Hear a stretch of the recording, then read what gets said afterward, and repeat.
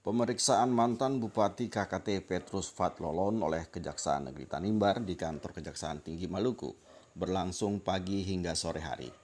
Pemeriksaan Fatlolon merupakan satu rangkaian dengan pemeriksaan terhadap mantan penjabat Bupati KKT Ruben Morilokosu dan Bendahara Pengeluaran Sekda KKT Petrus Masela yang telah lebih dulu diperiksa.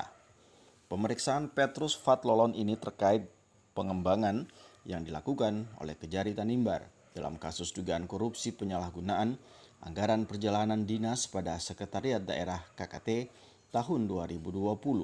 Tak hanya soal SPPD Setda Tanimbar, Petrus Fatlolon juga diperiksa sebagai saksi dalam perkara dugaan tindak pidana korupsi anggaran penyertaan modal APBD Kepulauan Tanimbar KBU MD Tanimbar Energi.